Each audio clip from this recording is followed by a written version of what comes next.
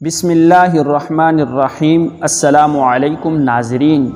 मनरजैल क़स्सा बुखारी शरीफ में सात जगह आया है। मुस्ंद में है कि हुजूर सल्लल्लाहु अलैहि वसल्लम ने फरमाया, बन इसराइल के एक शख्स ने दूसरे शख्स से एक हज़ार दीनार उदार मांगे। उसने कहा, गवाह लाओ। जवाब दिया कि खुदा ताला की गवाही काफ़ी है। कहा, ज़मानत लाओ। जवाब दिया कि खुदा ताला की ज़मानत काफ़ी है। कहा, तूने सच कहा, अदायगी की मियाद मुकर्र हो गई और उसने उसे एक हज़ार दीनार गिन कर दे दिए। उसने तरी का सफ़र किया और अपने काम से फारग हुआ। जब मियाद पूरी होने को आई तो ये समंदर के करीब आया कि कोई जहाज़ किश्ती मिले तो इसमें बैठ कर जाऊँ और रकम अदा कर आऊँ। लेकिन कोई जहाज़ न मिला। जब देखा कि वक़्त पर पहुँच नहीं सकता तो उसने एक लकड़ी ली और बीच में से कोकली कर ली और उसमें एक हज़ार दीनार रख दिए और एक पर्चा भी रख दिया। फिर मुँह बंद कर दिया और खुदा ताला से दुआ की, ए परवरदिगार, तुझे खूब इलम है कि मैंने फ़लाँ शख्स से एक हज़ार दीनार कर्ज़ लिए। उसने मुझसे ज़मानत तलब की मैंने तुझे जामिन बना दिया। और उस पर वो खुश हो गया। गवाह मांगा, मैंने गवाह भी तुझ ही को रखा। वो उस पर भी खुश हो गया।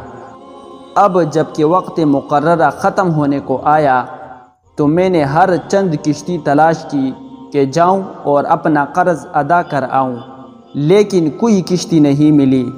अब मैं इस रकम को तुझे सौंपता हूँ और समंदर में डालता हूँ और दुआ करता हूँ कि ये रकम उसे पहुँचा दे।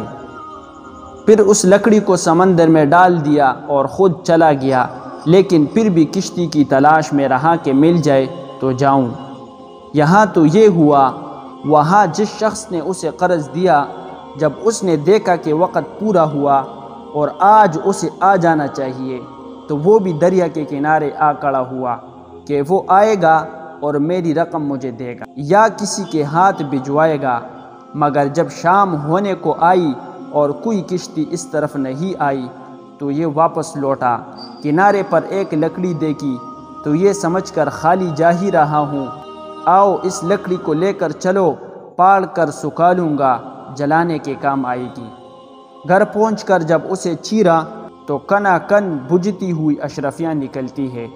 गिनता है तो पूरी एक हज़ार है। वही पर्चे पर नज़र पड़ती है उसे भी उठाकर पढ़ता है। फिर एक दिन वही शख्स आता है और एक हज़ार दीनार पेश करके कहता है कि, ये लीजिए आपकी रकम, माफ़ कीजिएगा। मैंने हर चंद कोशिश की कि वादा खिलाफ़ी न हो, लेकिन किश्ती के न मिलने की वजह से मजबूर हो गया और देर लग गई। आज किश्ती मिली, आपकी रकम लेकर हाजिर हुआ। उसने पूछा कि, क्या मेरी रकम आपने भिजवाई भी है?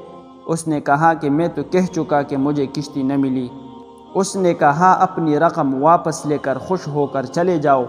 आपने जो रकम लकड़ी में डालकर उसे तवक्लन दरिया में डाला था, उसे खुदा ताला ने मुझ तक पहुँचा दिया और मैंने अपनी पूरी रकम वसूल कर ली। इस हदीस की सनद बिल्कुल सही है। हवाला तफसीर इबन कसीर, जिल्द नंबर एक सफ़ा नंबर तीन सौ सतहत्तर।